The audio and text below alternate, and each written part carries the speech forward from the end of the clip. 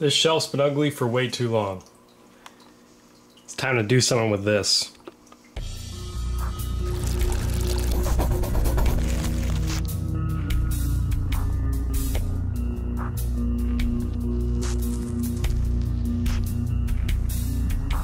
As the title says, we're going to be growing emersed plants. Basically what that means is you take your aquatic plants but you grow them terrestrially in a humid environment. Here's my Bacopa growing out of my Dario Daria bowl. That's kind of the idea of emersed plants. And we're gonna be doing this today just because I have nothing else to do with this tank and thought it would be fun.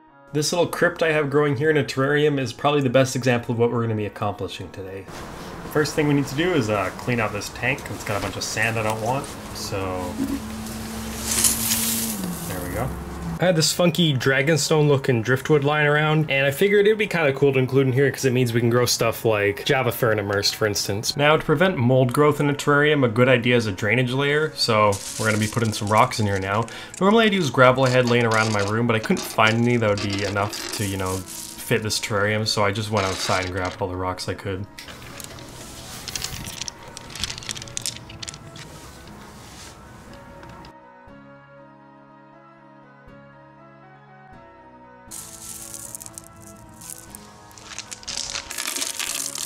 Now here I'm just grabbing some mesh. I use this in all my terrariums to prevent the dirt layer from merging with the rocks so that, you know, the drainage layer is actually useful.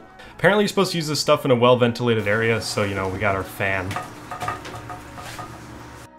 Now you don't technically have to do this step, you'd probably just get away with just dirt, but that's more likely to end up giving you mold, so that's why I like to do that, because of the amount of moisture we're gonna have in here. But really the mesh is probably unnecessary, I'm just so used to doing it I have it lying around that I might as well.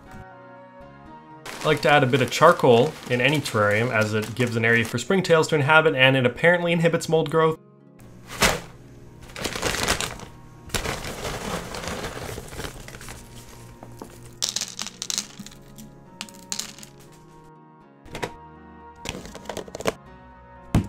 Here we have the springtails. You can see them. They're very small white bugs and they're very helpful to inhibit mold growth and they'll eat decaying plant matter and they're just generally very welcome in any terrarium. So I thought I'd add them to this one.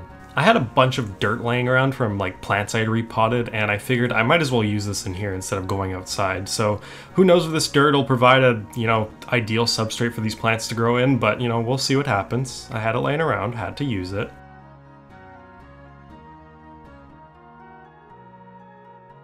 Put the wood back in. The wood's really cool. I think it's going to help give this thing a bit of a bit more character than it would otherwise, because otherwise it would just be a flat plane of plants with nothing really going on. I also added some rocks just to create a very small hardscape because we don't want to take away from the plants, because we're going to have a lot of them.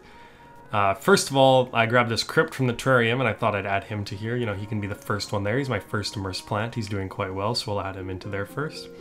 Next up, I had some Java ferns I took for my 10 gallons, stuck those right on the wood. There was also this Pogostemon helferi. I had been floating this in the cup it came in, uh, the tissue culture that is, to, because it's a very high light plant. And um, yeah, now it's going in here. I'm to be keeping some of it in the tank just because you never know if this will actually turn out well and I'd rather not kill all of this plant. But it's quite a pretty plant. I mean, look at that. It's just really cool and I really like it and I'm really glad to have it. And hopefully it does really well in this emersed setup. I'd love to see it like just take off and create this really cool lush terrarium.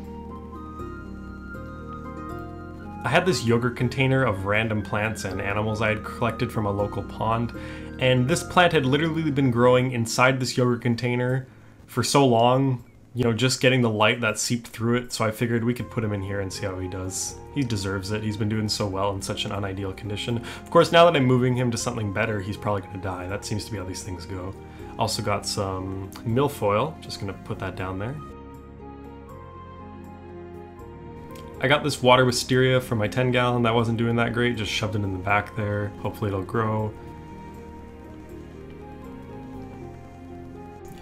I then went to grab some of the Bacopa from the bowl just because I thought it would look pretty cool in here and it was already growing emersed so there was no reason for me not to add some to here and it needed to be trimmed, just a bunch of reasons why I'd add it there.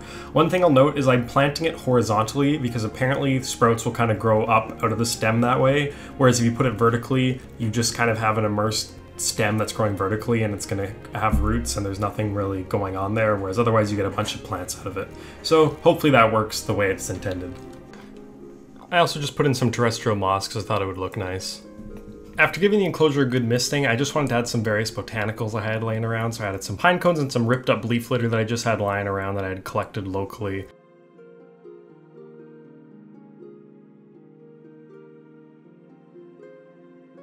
Last thing I did is I just put some saran wrap over the top and then I just taped it down because I didn't have a proper lid for this thing or anything.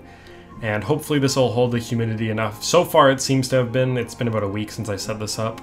And you know, I hope it keeps on doing well because it's going to be a really cool project and hopefully in a few weeks I can update you guys when this thing's grown in a bit.